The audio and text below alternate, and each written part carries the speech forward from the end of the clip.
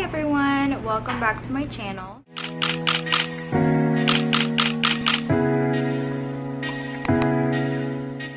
So I'm actually filming the intro to this video at my spa. As you can tell, my lovely background. This is actually wallpaper. My boyfriend, my lovely, lovely boyfriend put this on my wall for me. So shout out to my man. So today I'm going to be taking you guys with me to go meal prep for the week. I decided to make this video for you guys so you can see what helped me lose 10 pounds in one month. I'm aware that everybody's body is very different and everybody's health is very different. I'm just letting you guys know what has worked for me. You do what works best for you.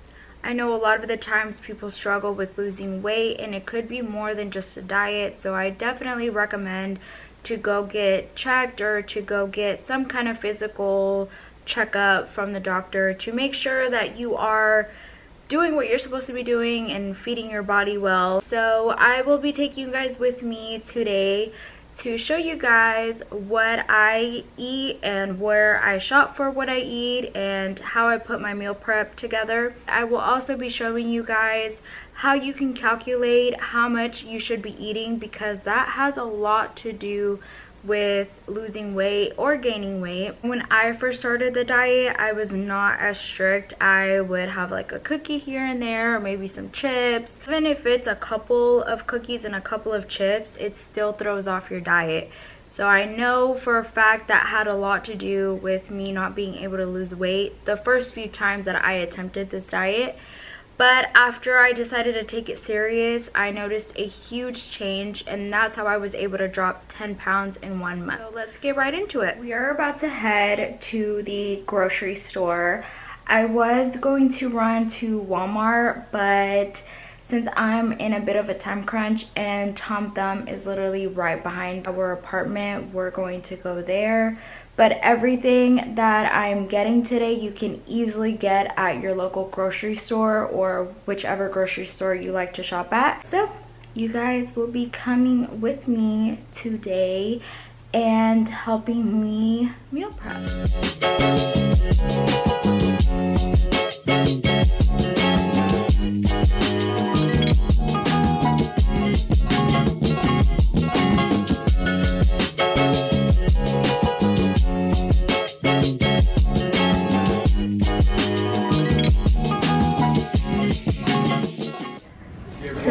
These Power Crunch right here are really good. They have a lot of protein, not a lot of sugar, and I think they're really good on carbs.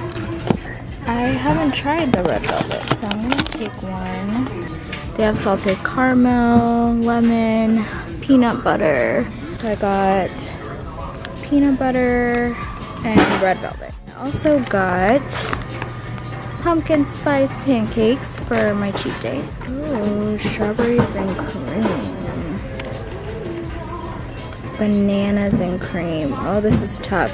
So I've never actually seen these flavors before, but Premier Protein is the protein shake that I drink in the mornings whenever I'm meal prepping. I'm debating on just trying both.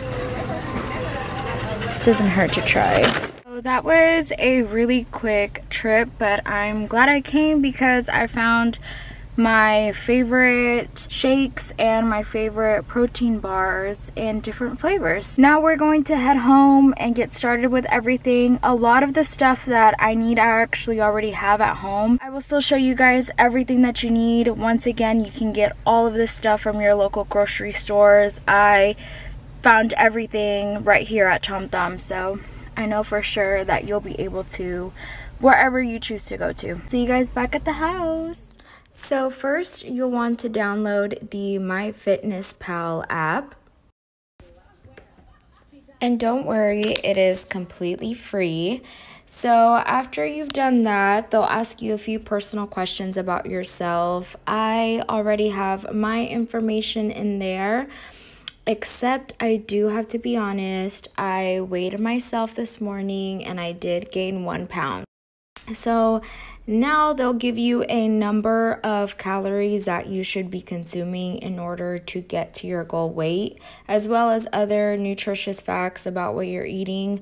Um, I really like that they have um, recipes. I love the recipes that they give you on this app, and as well as other um, workout videos that they have there for you.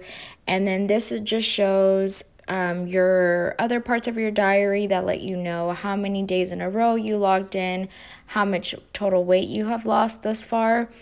By the way, I did notice that anybody who follows me on this app because people can actually follow you on the app they are able to see all of this so just a fair warning i'm pretty sure you, can edit it in the um, settings app or in the settings and then this section here is your journal. So you're able to log in your breakfast, lunch, dinner, snacks, and water as well.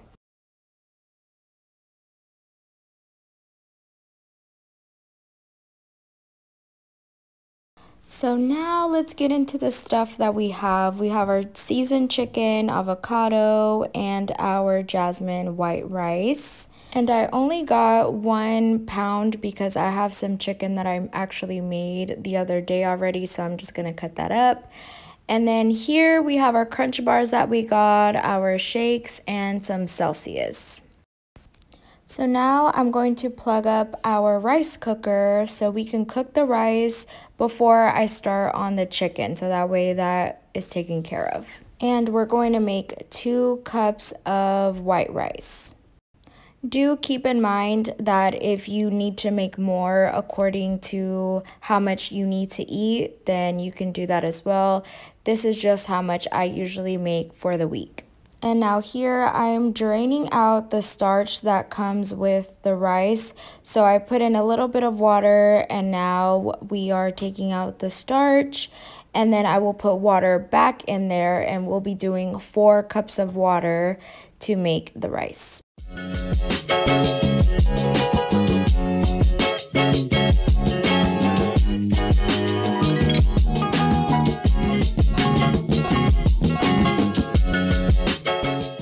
Now this part is super easy. All you have to do is turn it on and then you're going to hit the white rice button and it'll instantly start cooking for you. So now we can get started with the chicken. I have my chicken here that's already cooked. So we're just going to cut that up and then we will open up the chicken that we have here and start cooking that while we are cutting up the chicken. So we are multitasking a lot tonight.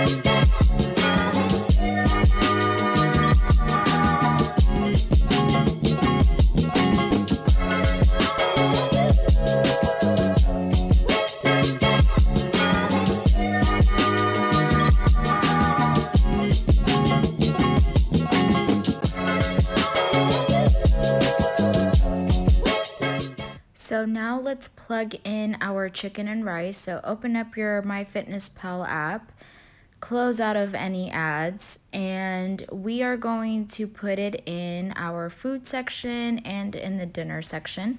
And the way this works is you'll find a barcode if your food happens to have barcode on it.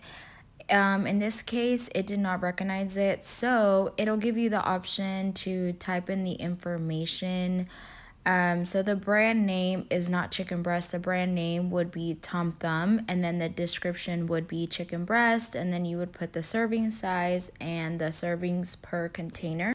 Now that we have put in our information, we will go to the next page. So we don't have any of this information on the chicken, and that is okay for the most part, anytime this side pops up, I just give up and I attempt to type in the description in the search engine. Now we are going to head back to the original search page right here and I'm just going to type in tom thumb breast or chicken breast, skinless, boneless, whatever it is that it said on there. So we're going to type that in and hope that it pops up for us.